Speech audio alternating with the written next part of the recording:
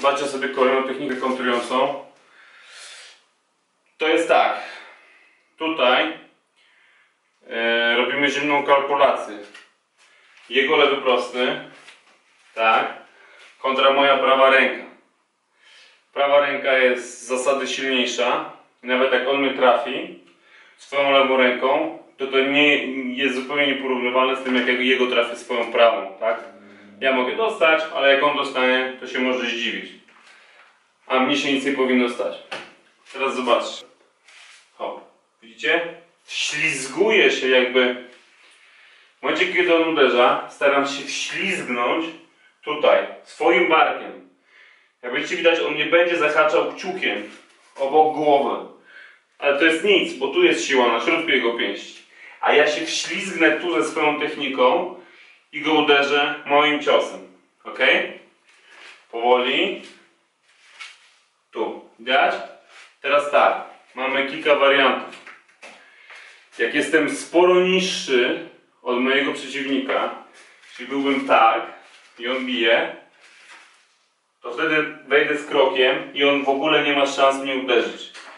Tylko oczywiście trzeba pamiętać o tym, że nie mogę pójść po prostej linii, tak, bo dostanę w głowę, więc jestem niżej. Jego ręka przychodzi nade mną, ok?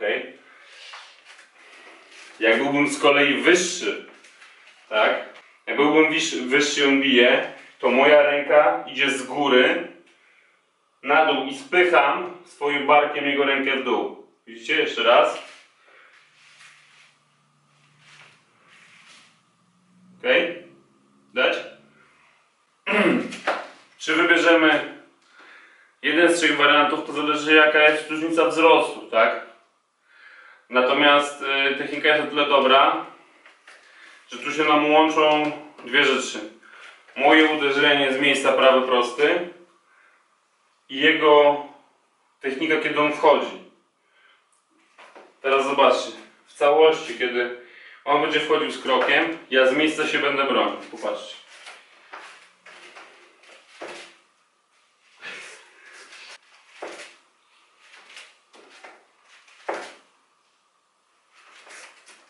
Również możemy to nazwać z taką techniką zmienięciem, tak? Bo z drugiej strony pokażę. Delikatnie odsunę się barkami w lewą stronę. A widzicie? Ja zamiast w dół czegoś inaczej delikatnie zejdę. To nawet to nawet nie jest unik. Ja robię coś takiego. Ok? Dobra, popatrzcie sobie jeszcze raz. Ok? Dobra, zobaczcie jeszcze inne ujęcia.